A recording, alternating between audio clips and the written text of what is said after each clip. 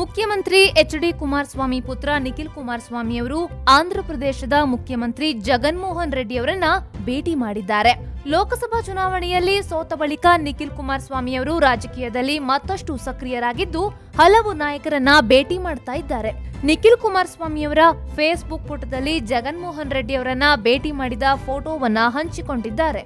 ಅಭೂತಪೂರ್ವ ಜನಾದೇಶ ಪಡೆದು ಆಡಳಿತದ ಚುಕ್ಕಾಣಿ ಹಿಡಿದಿರುವ ಯುವ ನಾಯಕ ಆಂಧ್ರಪ್ರದೇಶದ ನೂತನ ಮುಖ್ಯಮಂತ್ರಿ ಶ್ರೀ ವೈಎಸ್ ಜಗನ್ಮೋಹನ್ ರೆಡ್ಡಿ ಅವರನ್ನ ವಿಜಯವಾಡದಲ್ಲಿ ಭೇಟಿಯಾಗಿ ಅಭಿನಂದನೆಗಳನ್ನ ಸಲ್ಲಿಸಿ ಶುಭಾಶಯ ಕೋರಿದೆ ಎಂದು ಪೋಸ್ಟ್ ಮಾಡಿದ್ದಾರೆ. ವಿಜಯವಾಡದಲ್ಲಿ ನಿಖಿಲ್ ಕುಮಾರಸ್ವಾಮಿ ಅವರು ಜಗನ್ಮೋಹನ್ ರೆಡ್ಡಿ ಅವರನ್ನ ಭೇಟಿ ಮಾಡಿದ್ದಾರೆ. ಕರ್ನಾಟಕದ ರಾಜಕಾರಣವನ್ನ ಕೂಡ ಚೆನ್ನಾಗಿ ತಿಳಿದಿರುವ ಜಗನ್ ಅವರು ಪ್ರಸಕ್ತ ರಾಜಕೀಯ ಸನ್ನಿವೇಶಗಳನ್ನ ಬಹಳ ಸೂಕ್ಷ್ಮವಾಗಿ ಗಮನಿಸುತ್ತಿರುವುದಾಗಿ ಹೇಳಿದರು ಎಂದು ನಿಖಿಲ್ ಕುಮಾರಸ್ವಾಮಿ ಅವರು ಫೇಸ್ಬುಕ್ನಲ್ಲಿ ಬರೆದಿದ್ದಾರೆ.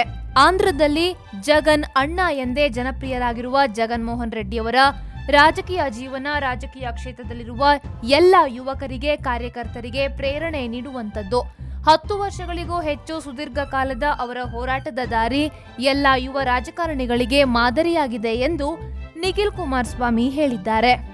ಜನರ ಸೇವೆಗಾಗಿ ಅವರ ಜಗನ್ಮೋಹನ್ ರೆಡ್ಡಿ ಅವರ ಬದ್ಧತೆ ಮತ್ತು ಎದುರಾದ ಎಲ್ಲ ಅಡೆತಡೆ ಸೋಲು ಸವಾಲುಗಳನ್ನು ಮೀರಿ ಗುರಿ ಮುಟ್ಟುವವರೆಗೂ ವಿರಮಿಸದ ಅವರ ಛಲ ದಿಟ್ಟತನ ಹೋರಾಟಗಳಿಗೆ ಜನ ಆಶೀರ್ವಾದ ಮಾಡಿದ್ದಾರೆ. ಈ ಅವಕಾಶವನ್ನ ಅವರು ಸಂಪೂರ್ಣವಾಗಿ ಬಳಸಿಕೊಂಡು ಆಂಧ್ರಪ್ರದೇಶದ ಮುಖ್ಯಮಂತ್ರಿಗಳಾಗಿ ಅವರು ಜನರ ನಿರೀಕ್ಷೆಗೆ ತಕ್ಕಂತೆ ಅತ್ಯಂತ ಯಶಸ್ವಿಯಾಗಿ ಕಾರ್ಯನಿರ್ವಹಿಸಲಿ ಎಂದು ರತ್ಪೂರ್ವಕವಾಗಿ ನಿಖಿಲ್ ಕುಮಾರಸ್ವಾಮಿ ಹಾರೈಸಿದ್ದಾರೆ.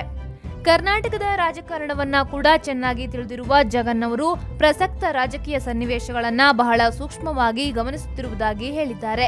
ಇಂತಹ ಸಂದರ್ಭದಲ್ಲಿ ನನ್ನಂತಹ ಯುವ ರಾಜಕಾರಣಿಗಳಿಗೆ ಉತ್ತಮ ಅವಕಾಶಗಳಿವೆ. ಸಾರ್ವಜನಿಕ ಜೀವನದಲ್ಲಿ ಯಾವುದಕ್ಕೂ ಹಿಂಜರಿಯದೆ ಜನಸೇವೆಯೊಂದನ್ನೇ ಗುರಿಯಾಗಿಟ್ಟುಕೊಂಡು ಮುಂದುವರಿಯುವಂತೆ ನನಗೆ ಸಲಹೆ ನೀಡಿ ರಾಜಕೀಯದಲ್ಲಿ ಉತ್ತಮ ಭವಿಷ್ಯವನ್ನ ಹಾಗೂ ಯಶಸ್ಸನ್ನ ಹಾರೈಸಿದರು ಎಂದು ನಿಖಿಲ್ ಕುಮಾರಸ್ವಾಮಿ ಫೇಸ್ಬುಕ್ನಲ್ಲಿ ಬರೆದುಕೊಂಡಿದ್ದಾರೆ. ಎರಡ್ ಸಾವಿರದ ಹತ್ತೊಂಬತ್ತರ ಲೋಕಸಭಾ ಚುನಾವಣೆಯಲ್ಲಿ ಸೋತ ನಂತರ ಹಲವು ನಾಯಕರನ್ನ ನಿಖಿಲ್ ಕುಮಾರಸ್ವಾಮಿ ಭೇಟಿಯಾಗಿ ಮಾತುಕತೆಯನ್ನ ನಡೆಸುತ್ತಿದ್ದಾರೆ. ಕೆಲವು ದಿನಗಳ ಹಿಂದೆ ಮಲ್ಲಿಕಾರ್ಜುನ್ ಖರ್ಗೆ ಅವರನ್ನ ಭೇಟಿ ಮಾಡಿದ್ರು.